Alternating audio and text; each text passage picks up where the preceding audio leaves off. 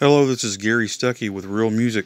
In a recent interview with Inside with Paulo Baron, the former lead singer of Van Halen, Sammy Hagar, mentioned that he shouldn't have said so many negative things about his former bandmate, Eddie Van Halen.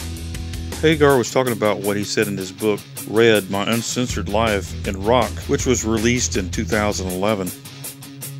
It was a different story when he mentioned the former lead singer of Van Halen, David Lee Roth. He said, He's a real character.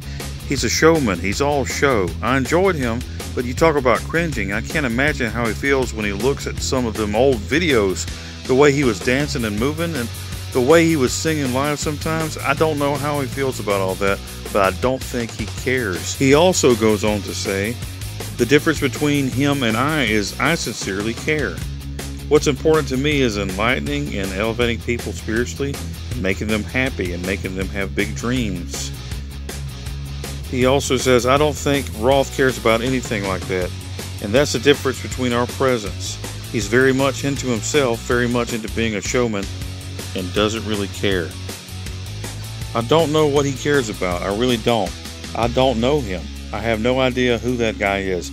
I don't think anyone does but he entertains me. But the biggest cut on Roth was when Hagar said that his voice hasn't aged well and that his stage persona is total bull. What do you think about David Lee Roth or Sammy Hagar?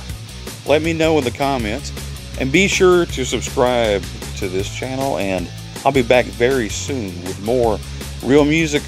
Always remember to keep it real.